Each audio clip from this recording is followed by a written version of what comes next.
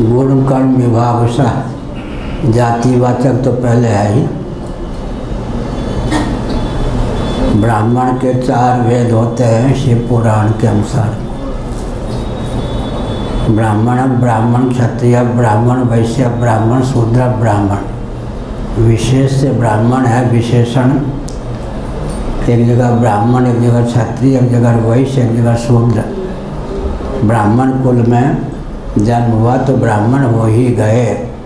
ब्राह्मणोचित शील है, स्वभाव है तो ब्राह्मण ब्राह्मण, एक नंबर के ब्राह्मण। क्षत्रियोचित जीविका का साधन चुना या स्वभाव है तो क्षत्रिय, ब्राह्मण। वैश्योचित जीविका का साधन चुना तो वैश्य, ब्राह्मण।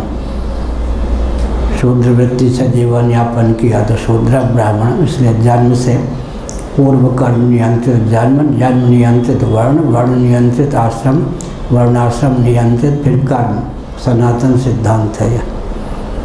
गाय अगर दूध ना भी दे तो अभी गाय की कोई हत्या कर दे या गाय लगनी लोली भी हो तो हत्या का पाप लगता ही। इसी प्रकार जन्म से तो ब्राह्मण होगा ही, जन्म से नहीं होगा तो एक दिन में एक व्यक्ति की दस जाति बदल जाएगी। ये जो देवियाँ होती हैं, बच्चों के मल मूत्र से परहेज करें तो बच्चों का पालन न हो। उस समय कौन जाति होगी? भोजन बनाते समय कौन जाति? झाड़ू पोछा के समय कौन जाति? जन्म से नहीं मानेंगे तो कर्म से तो एक दिन में सौ जातियाँ बदल जाएँगी। तब क्या होगा व्यक्ति? जन्म कर्म नियंत्रित, जन्म है, जन्म नियंत्रित, वर्ण है, वर्ण नियंत्रित, आश्रम है, वर्णाश्रम नियंत्रित, फिर कर्म है। आरंभ में भी कर्म, अंत में भी कर्म।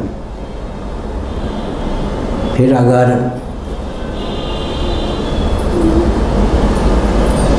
पुलिस होकर कोई चोरी करे चोर को पकड़ने वाला ही चोर निकल जाए तो दंड का पात्र होता है ऐसे ही। अपने धर्म का पालन नहीं करेगा, च्युत होगा, तब तो दंड का पात्र होगा, लेकिन देश काल परिस्थिति के अनुसार। वर्ण धर्म आश्रम धर्म में संकोच या विकास भी होता है। स्वतंत्र भारत में वर्ण के अनुकूल जीविका प्राप्त करना कठिन है, क्योंकि प्रथम प्रधानमंत्री से ही दिशाहीनता आ गई थी। अंग्रेज़ों की कूटनीति के कारण आजकल भी बीज की रक्षा तो आवश्यक है, क्योंकि कलयुग के अंतिम चरण में भगवान कल के ब्राह्मण कुल में ही उत्पन्न होंगे। तब तक कोई ब्राह्मण वंश, वर्ण संकर होने से बचा रहेगा। तब तो ब्राह्मण कुल में भगवान कल्कि की अवतार होगा।